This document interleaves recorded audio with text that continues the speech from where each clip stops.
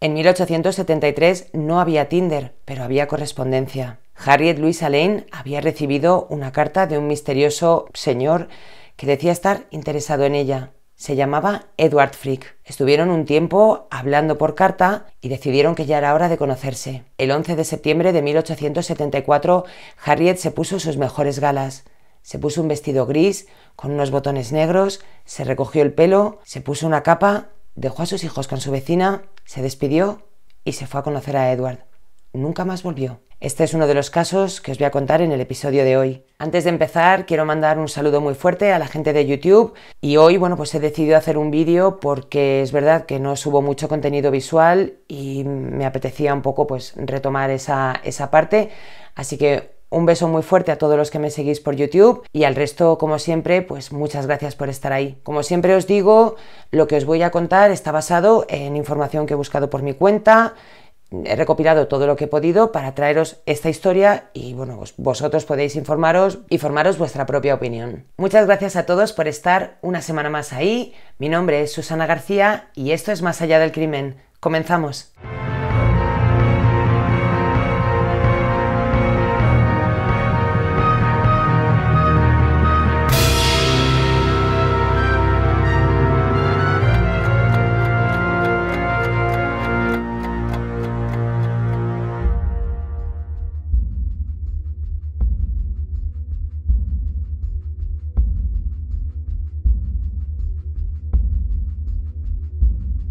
Después de que Harriet no volviera a casa de su vecina por sus hijos, esta mujer se preocupó. Sabía que ella estaba con, un hombre que era el padre de sus hijos y fue a preguntarle. Henry Wainwright, el padre de sus hijos, le dijo a la vecina que tampoco sabía nada de ella, que la última vez que la vio le dio 10 libras y dijo a la chica que se iba a ir a Brighton y de a partir de ahí nada se sabía. Y nada se supo de Harriet hasta justo un año después, el 11 de septiembre de 1875. Pero para meteros en situación voy a contaros un poco la historia de lo que pasó.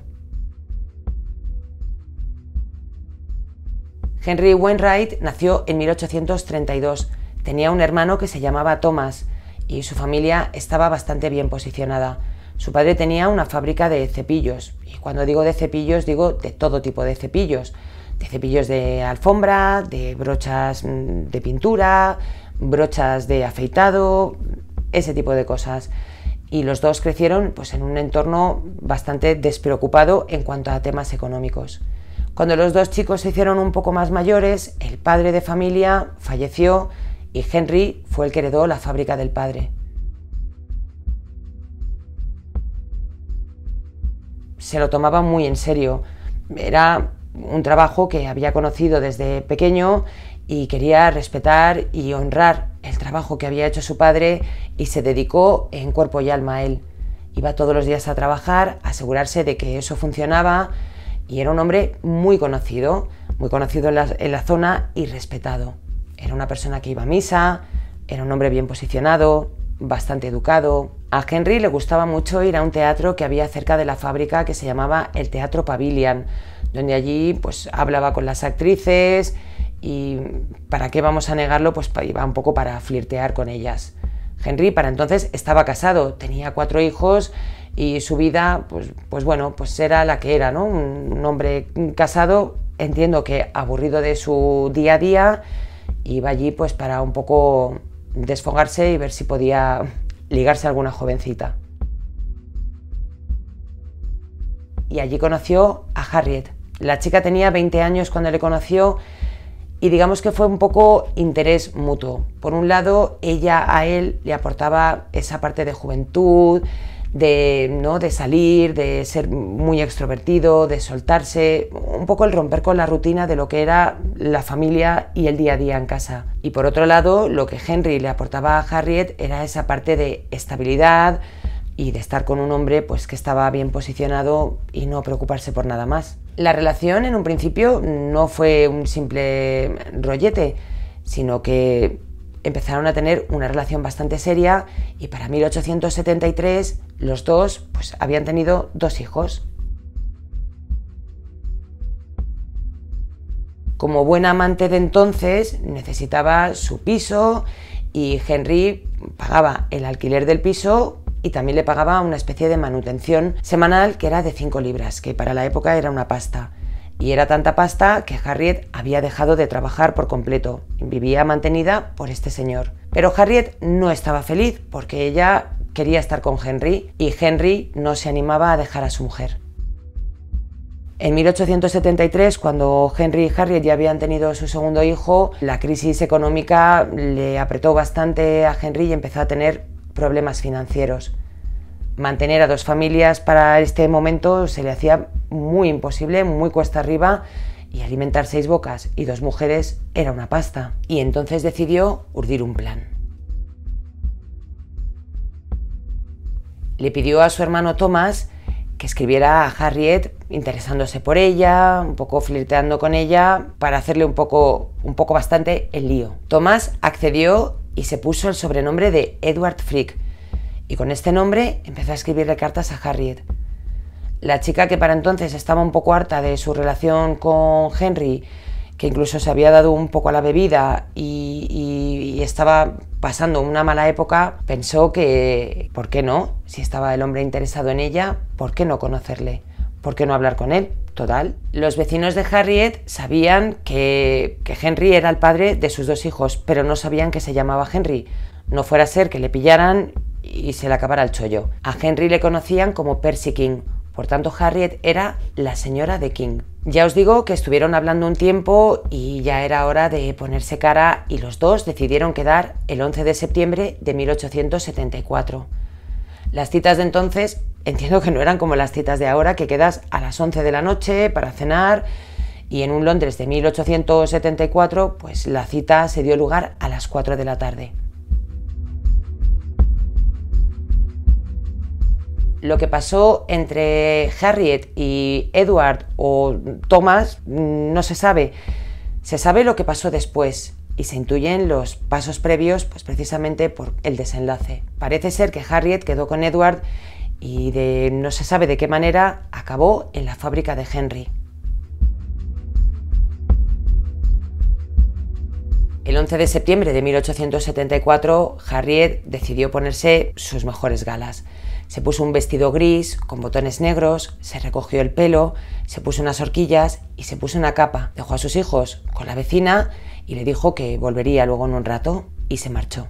Al no saber nada de ella, esta vecina se preocupó, quien para entonces ya sabía que el marido de, bueno, el marido, el marido entre comillas de Harriet no era Percy King, sino que era Henry Wainwright, y junto con la familia se fueron a la fábrica para ver si este Henry sabía algo de la chica. Lo que él les dijo fue que la vio, que le dio 10 libras y que ella le dijo que se iba a Brighton. Y a partir de ahí no sabía nada más. Y ya nada se supo de Harriet. Nadie la había visto, nadie tenía más información. Poco tiempo después, la familia recibió un telegrama, un telegrama del tal Edward Frick diciendo que mm, dejaran en paz a Harriet, que se iba a casar con ella que no quería que tuviera relación con su familia y con sus amigos y que quería empezar una vida de cero con ella. Cosa muy rara. La familia de Harriet estaba realmente preocupada porque no era su estilo ni dejar a sus hijos ni ponerse en contacto con su familia en tanto tiempo. Pero como nadie sabía nada, no había indicios, no había nada, ni pistas ni nada, el caso se quedó frío y pasó un año. En este año, Henry empezó a tener problemas económicos que ya los tenía, pero se declaró en bancarrota y la única opción que tuvo para salir del paso y poder seguir con su vida y con su familia fue vender la empresa, es decir, vender la fábrica.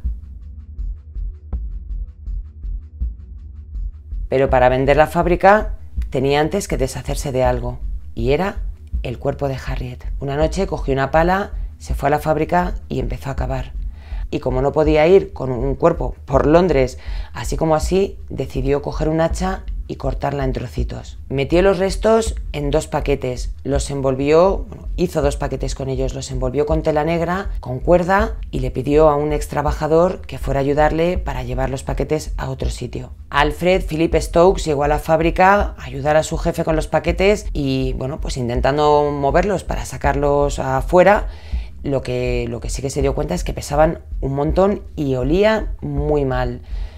Le dio muy mala sensación y su ex jefe Henry le dijo pues que sería que nada, que seguramente habían pasado algunos animales por allí y que por eso eh, los paquetes desprendían este hedor tan nauseabundo.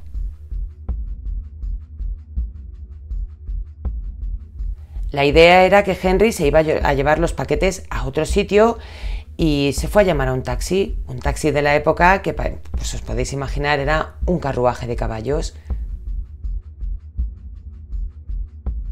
Mientras Henry se iba por el taxi, este Stokes dijo, mira, yo paso de todo, voy a abrir los paquetes, voy a abrir uno al menos y voy a ver qué hay. Y nada, no le costó mucho. Soltó un poco la cuerda, quitó la tela negra y lo que vio fue una cabeza y una mano. Sin volverse medio loco, lo que hizo fue volver a cerrar el paquete y hacerse el tonto por completo. Entonces llegó Henry, que ya había encontrado un taxi, y le pidió a Stokes que le ayudara a meter los paquetes dentro. Que tenía que hacerle un último favor, que era eh, deshacerse de un cuchillo y de un hacha que tenía que venderlos un poco bajo cuerda. Stokes estaba alucinando para este momento y cuando el taxi arrancó lo que hizo fue correr detrás. Por suerte el carruaje estaba tirado por un caballo y por lo tanto no iba tan rápido y Stokes, que todavía tenía fuerzas en las piernas, corrió para ver hacia dónde iban. El carruaje hizo una parada en la calle comercial. Parece que allí Henry se encontró con una chica, Alice Day, que era una bailarina del teatro. Las malas lenguas dicen que era otra de sus amantes, pero en el testimonio de los dos ninguno lo reconoció. Lo que cuenta Alice es que Henry paró el carruaje y le ofreció ir al puente de Londres con ella. Y ella lo que le dijo es que, bueno, pues eran las 5 menos 10 de la tarde, que si para las 6 y cuarto estaba de vuelta, que le acompañaba sin problema, y él le dijo que sí. Ella se montó, él le dio un periódico y le dijo, no me preguntes nada, no hables conmigo, estoy pensando. Lo que notó es un olor insoportable, pero pensó que eran unas chaquetas de, piel, de cuero, y que por eso olían tan mal y no le dio más importancia. Para entonces, Stokes, que estaba observando que el carruaje estaba parado mientras se montaba esta chica, paró a dos guardias para decirles que tenían que seguir a ese taxi, que había un problema muy gordo, pero no le hicieron caso. Como pudo, Stokes siguió al carruaje, que por suerte tampoco paró mucho tiempo después, y se paró en un edificio. Este edificio era de Thomas, del hermano de Henry, y era donde en principio iba a dejar los restos de, Harriet. Stokes volvió a intentarlo con dos guardias que se encontró y les dijo lo mismo, que tenían que abrir esos paquetes y tenían que ver lo que había dentro porque algo no iba bien. Y estos agentes sí que le hicieron caso. Le preguntaron a Henry qué tenían los paquetes y dijo que, bueno, que no querían saberlo, que pasara lo que pasara y, fuera por lo que fuera, que esos paquetes no debían abrirlos. Y les chantajeó ofreciéndoles 100 libras, 200 libras, que no aceptaron. Abrieron los paquetes y encontraron lo mismo que había visto Stokes. Automáticamente Henry y su amiga Alice fueron detenidos y llevados a comisaría. La policía fue a la fábrica de Henry para ver si podían encontrar mm, algún tipo de indicio, ya que Stokes les había contado, pues bueno, que su jefe le había llamado y entonces sabían que los paquetes habían salido de allí. Y lo que se encontraron allí fue, pues, la tumba poco profunda donde había estado enterrada Harriet. Allí encontraron pelos que correspondían con el cuerpo y encontraron unos anillos y unos pendientes. También estaba el hacha y había un cuchillo el hacha desprendía un olor bastante parecido al de los paquetes, por lo tanto dedujeron que el cuerpo de Harriet había sido desmembrado con ese hacha.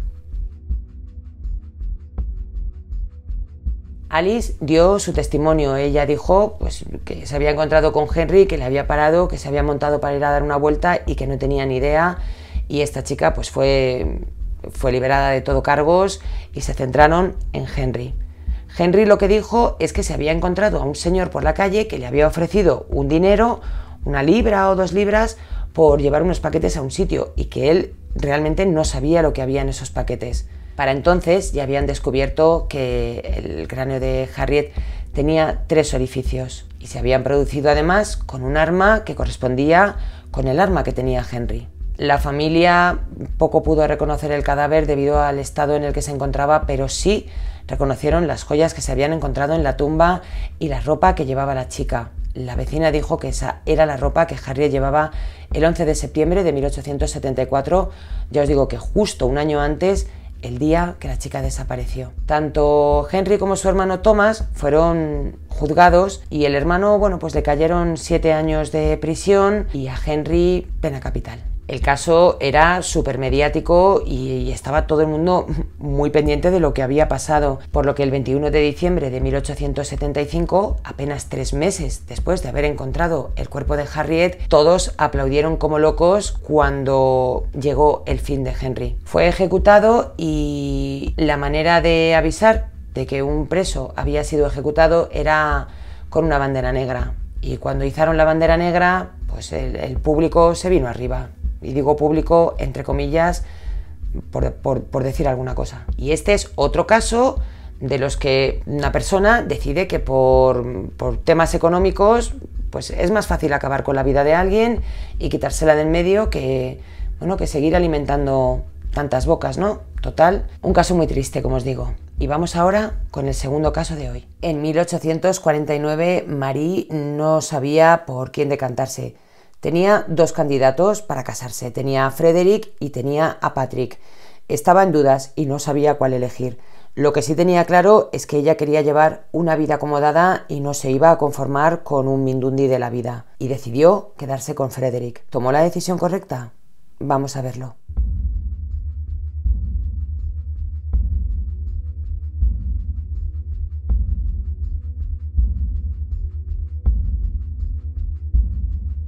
Marie Derou nació en 1821 en Lausana, en Suiza.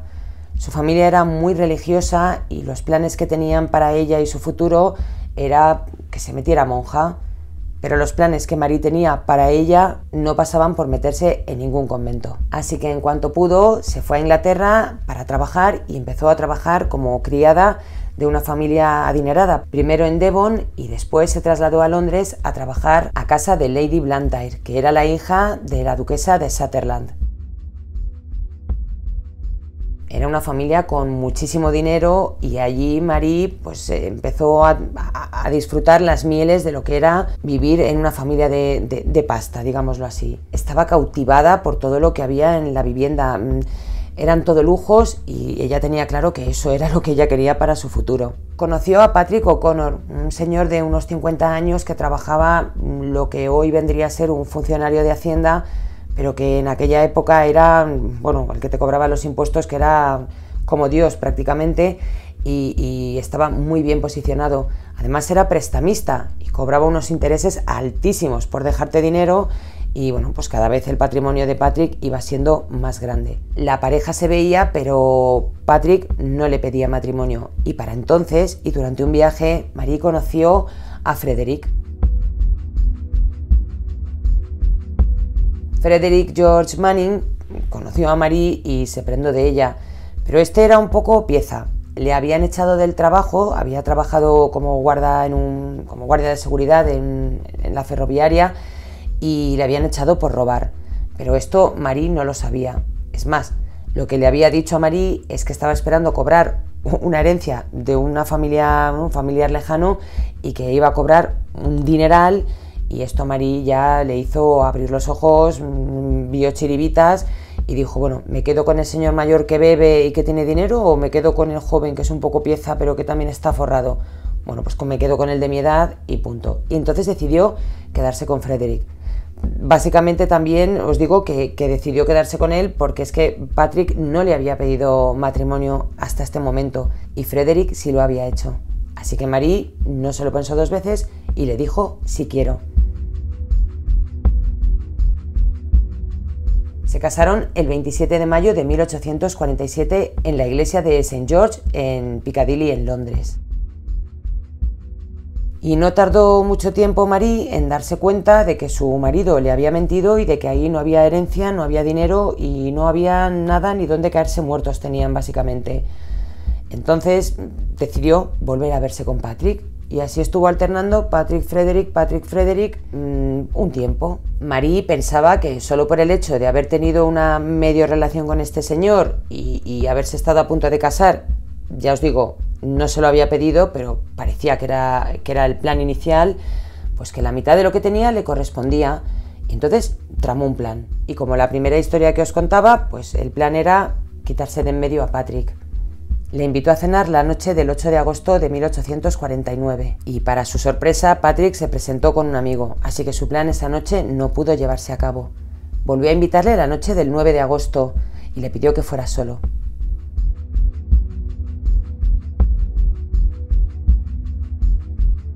Una vez Patrick en casa de Marie y antes de sentarse a la mesa, la mujer le pidió que fuera a lavarse las manos.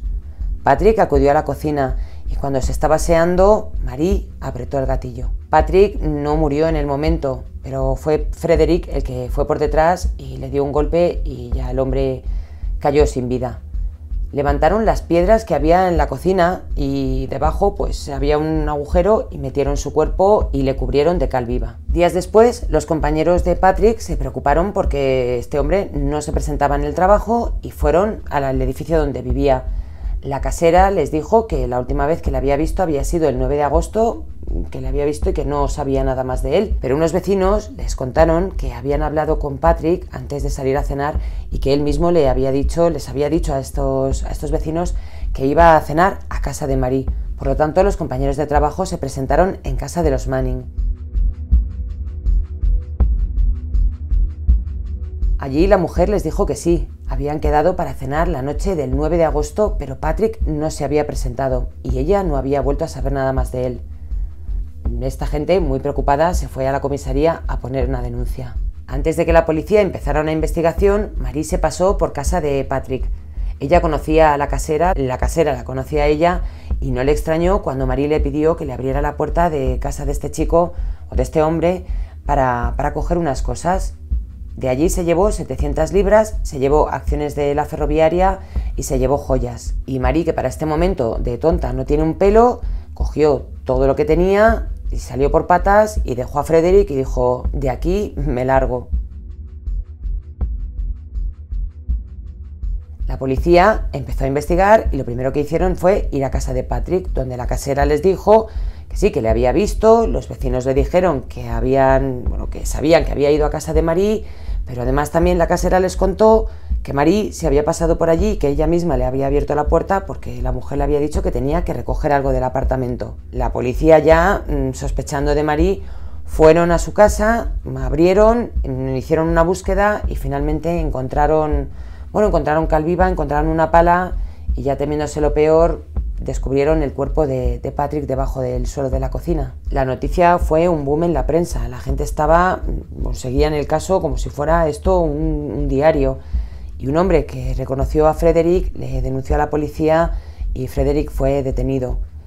Él lo que confesó fue que la culpable, la, mano ejecutora, la, mente del plan, la, todo había sido Marie y que él simplemente le había ayudado a deshacerse del cuerpo. Y una semana después de haber sido detenido Frederick, eh, a Marie la pillaron con las acciones de, Patrick y como habían sido denunciadas por robo, pues fue a comisaría y fue detenida evidentemente por, robo. Aunque luego, como ya sabían que la estaban buscando, al final le cayeron cargos también de, pues, de asesinato. Marie y Frederick fueron a juicio, fueron los dos y los dos fueron condenados a pena capital. A los dos les ofrecieron decir algunas palabras después del juicio, Frederick no dijo nada admitió bueno, pues, eh, la sentencia que le había caído, su culpabilidad y lo que le quedaba ya por, hacer en su vida, pero Marie no, estaba, no lo tenía tan claro. ¿eh?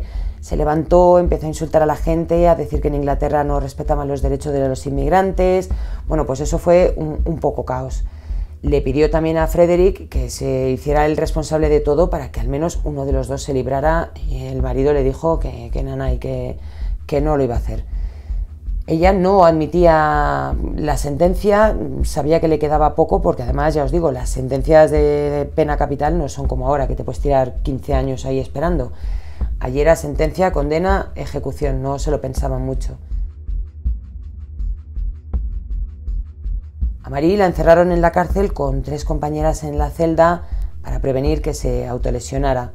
Y de hecho lo intentó muy poquito tiempo después, al dejarse las uñas muy largas, eso he leído, intentarse agredir y hacerse una herida en la tráquea para, para ahogarse. Las compañeras lo impidieron y bueno, al final daba igual una que otra, pero parece ser que si tienes una sentencia y te han condenado, pues, pues tienes que llevarla hasta el final y tú no eres quien para quitarte de en medio antes.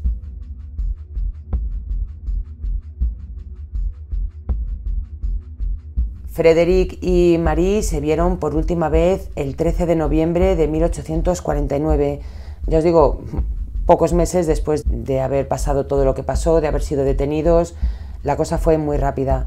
Se vieron en la capilla, ella pidió que le vendaran los ojos, no quería ver nada, aparte que es que fueron entre 30.000 y 50.000 personas, eso fue un circo, todo el mundo quería ver los últimos momentos de la pareja y ella se negó a ver sus últimos instantes, se reconcilió con Frederick, decidieron irse pues al otro mundo sin, sin ninguna carga el uno con el, con el otro, se medio pidieron perdón y allí que se fueron. Y ese fue el último momento de la pareja. Fue la primera pareja ejecutada junta desde 1700 y ya os digo, fue, eso fue un caos, porque con tanta gente que había hubo gente lesionada, hubo hasta una fallecida, entre el público estaba Charles Dickens, que basó la historia de Marie en uno de sus personajes, Mademoiselle Hortensa, de su obra Casa Desolada. La primera edición se publicó en 1852, muy poco después de la muerte de los Manning.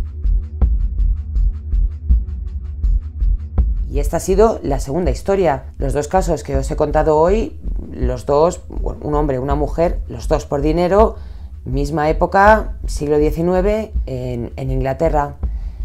Dos historias que por dinero, pues, eh, pues muy tristes. Es que además estas historias a mí me dan bastante asco, porque por cuatro duros, pues no sé, acabar con la vida de alguien me parece un poco, un poco triste, la verdad. Muchas gracias a todos por estar una semana más ahí. Si os han gustado estos casos, si os gusta este tipo de casos o tenéis otra sugerencia, lo que sea, por favor me lo dejáis en comentarios. Tengo una lista con cosas que me pedís, lo que pasa que bueno, pues voy sacando según voy, voy viendo y os prometo que iré, que iré trabajando en ello. Saludos especiales y mención muy especial a Russell Ferrer y a Sumi, mis miembros de Patreon, y os invito a los demás a que os unáis, que le echéis un vistazo, que veáis si os interesa. Hay un montón de cosas ahí para, para que descubráis, también me ayudáis un montón. Y quería también agradecer a mis mecenas de iVoox, que cada vez sois más, que de verdad me ayudáis muchísimo y sobre todo el apoyo que me demostráis para mí es lo más importante. Disculpad si en algún momento mm, digo algún dato erróneo, me podéis corregir de buenas formas. Por favor, a la gente mal educada directamente es que ni les, publico el comentario porque no pierdo el tiempo con, con malas energías porque bastante tela tienen ya los episodios como para encima cargarnos de, de negatividad a los demás, ¿vale? Siempre con educación, con respeto y así podemos dialogar. Y hoy no me voy sin mandar un beso enorme y un abrazo súper cálido a mi amigo Santi, que hace más de 30 años que no le veo, circunstancias de la vida que hace que no, bueno, pues que no nos hayamos podido encontrar y le digo que, que deseo que ese momento llegue muy pronto y que podamos volver a vernos. Al resto, como siempre, nos vemos muy pronto con más casos reales en Más allá del crimen. Un beso.